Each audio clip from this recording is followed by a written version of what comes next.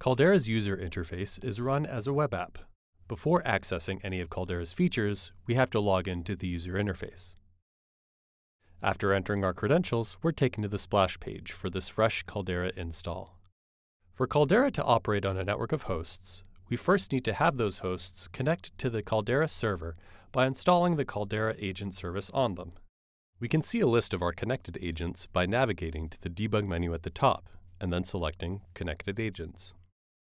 And we can also test our connectivity to these agents by going back to the debug menu and choosing Send Command, then selecting an agent and then typing some shell commands into the Execute a Command page. If the agents are connected and working properly, you'll get responses, as we see here.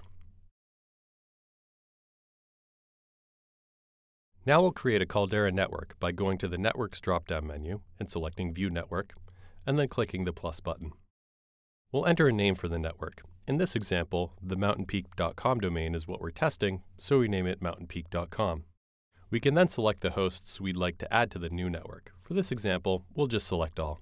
The following page gives us visual confirmation of the hosts we've added, along with their status and the ability to add new hosts.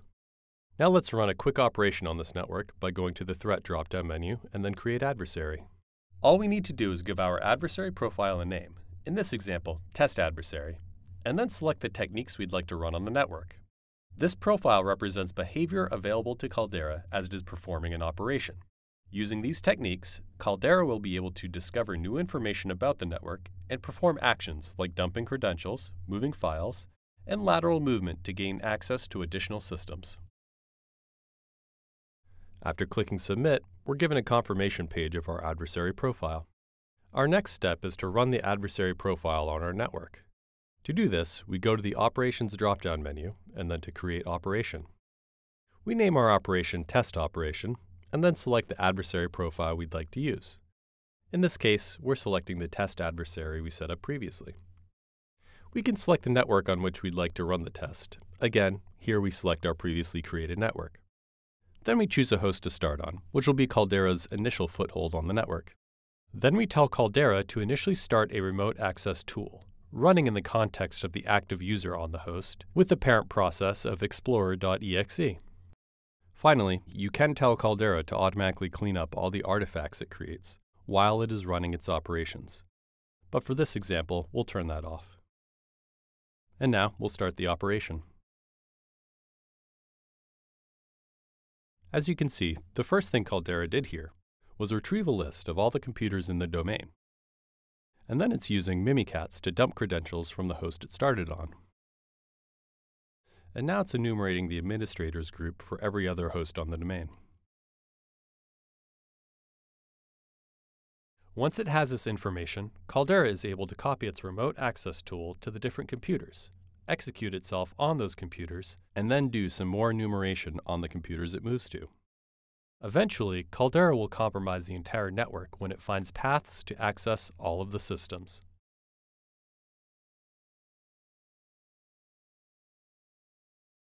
Once Caldera is done, we can review in more detail what occurred on each one of the steps it took by clicking on it. For example, here Caldera ran some commands and the resulting output was the copying of a file. We can also see the output from any tools that were executed, for example, this is the output for Mimikatz.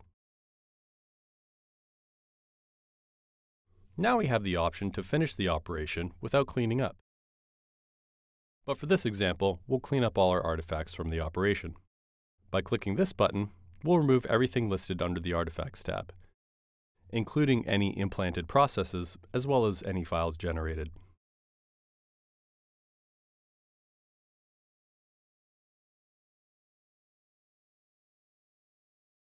Now that you've seen Caldera run, it's good to see why it behaves the way it does.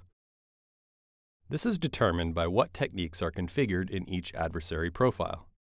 We can see a list of the different techniques implanted in Caldera so far by going to the Threat drop-down menu and choosing View Steps. And by clicking on Details for each technique, we can see how each of the steps logically relate to one another. We can also see how each of the implemented techniques relate to the MITRE ATT&CK matrix via the Threat drop-down menu. ATT&CK is a knowledge base of adversary behavior based on public threat reporting that Caldera aligns to. Boxes in green show that there is a Caldera step that covers that specific ATT&CK technique. We can also control how Caldera names the different artifacts by going to the Threat drop-down menu and choosing Create Artifact List. For this example, we create a name that Caldera will use when it copies its remote access tool across the network.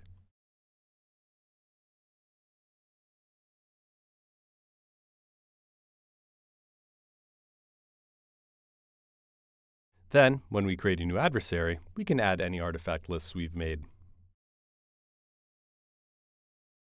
In order to keep the ATT&CK information up to date, we can go into the Settings screen and click the Load ATT&CK button. Finally, we can edit the scripts that are included in Caldera directly through the web interface by selecting Script Editor and saving any changes that we make.